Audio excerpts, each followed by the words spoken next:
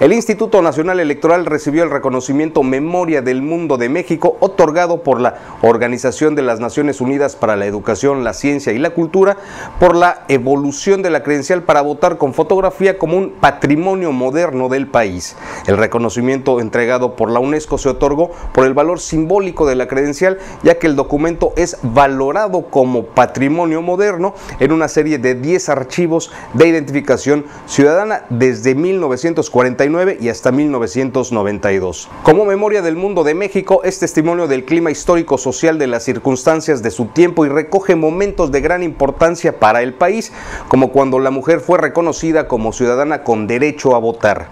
En la sede del Palacio de Minería, entre los que recibieron el reconocimiento destacan la Filmoteca de la UNAM por las colecciones cinematográficas testimoniales de la Revolución Mexicana, el Archivo General de la Nación por el Fondo Correspondencia de Virreyes, entre otros galardonados.